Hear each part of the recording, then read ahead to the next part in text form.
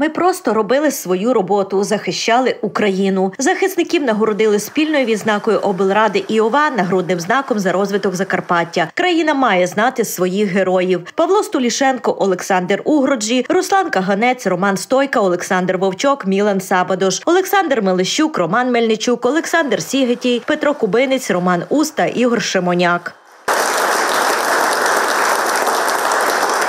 Заборона діяльності церкви Московського патріархату на Закарпатті одне з найважливіших співсотні питань порядку денного обласної сесії.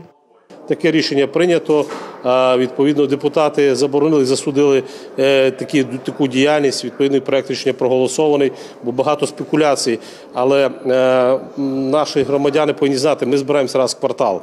У нас немає щоденної реакції швидкої для того. Сьогодні є військова адміністрація. Важливо, що ця позиція практично доголосно була підтримана в залі.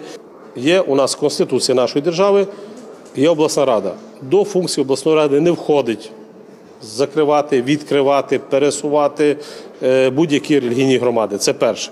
Але ми бачили парад прийнятих рішень насправді не зовсім законних, які е, приймали наші сусіди. І склалася така ситуація, що хтось в Закарпатті тут е, московських гопів десь береже під столом. Це неправда. Тому ми прийняли таке саме популістичне рішення, яке ні до чого нікого не зобов'язує, але в ньому вже звернули увагу правоохоронців на те, що вони мають саме дивитися, хто співпрацює з Російською Федерацією, яка церква співпрацює, який священик співпрацює. Не міряти всіх одним мірилом, а розбиратися в цьому питанні. Затвердили депутати угоду про співпрацю між Закарпаттям та Словацьким Пряшівським самоврядним краєм. Також підтримали партнерські відносини з Пардубіцьким краєм Чехії та вступ області до асамблеї європейських регіонів. Крім того, очільник Нацполіції краю відзвітував про боротьбу зі злочинністю. У нас розкриті всі злочини, які стосуються всі грабежі, всі розкриті всі. Розбої, володарі, розбої, всі розкриті. Я вже не кажу за вбивство тяжкі тілесні, які спричинили смерть, теж все розкрито 100%.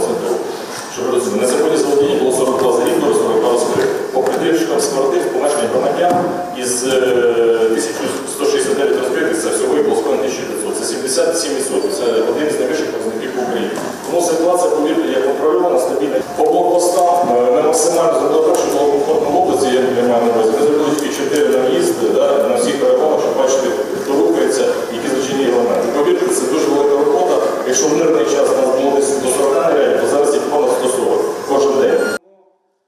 оперативну ситуацію у Закарпатті доповів очільник ОВА краю. Віктор Микита зауважив, економіка має працювати на перемогу і добробут краян. Зарплати треба підтягнути, аби люди не виїжджали за кордон. Тому підтримка потрібна не тільки релокованим підприємствам, а й закарпатським. Важливих питань це було звернення депутатське стосовно БФ-термінал, який у нас розміщується е, інвестор, який розміщується у територіальній громаді. Починається будівництво е, підприємців в деревообробній е, галузі. Зацікавив це підприємство. Вони бояться втратити відповідну роботу і отримати потужного конкурента.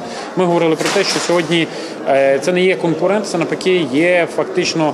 Ну, перше, це платник податків для місцевої громади і це підтримка економіки регіону. А в цілому, враховуючи, що у нас є вільний ринок деревини, і деревина закупляється не тільки на території Закарпаття, а по всій Україні.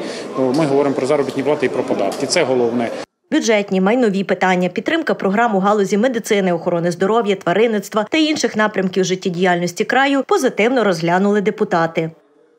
Продовжується реформа обласних комунальних закладів, прийняті статут соціальних закладів. У нас залишився виключно спорт. Таким чином, всі заклади обласної ради будуть працювати керівники на контракті і будуть мати наглядові ради від депутатів. Це таке технічне, але важливе рішення. Зміни роду в статути обласних підприємств, наприклад, щоб надати підтримати сьогодні військових, надати їм пільгу на відвідання обласних закладів. Це треба робити технічну роботу, щоб мати таку змогу по закону це все зробити.